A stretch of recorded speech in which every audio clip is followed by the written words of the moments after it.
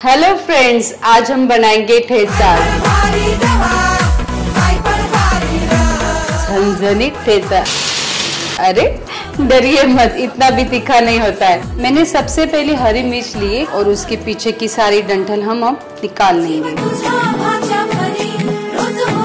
मिर्ची को मैंने अच्छे से भून लिया है।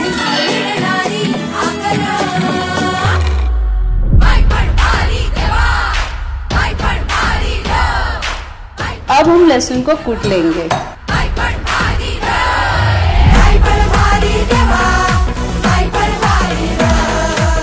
लहसुन और मिर्ची को पीस लिया है।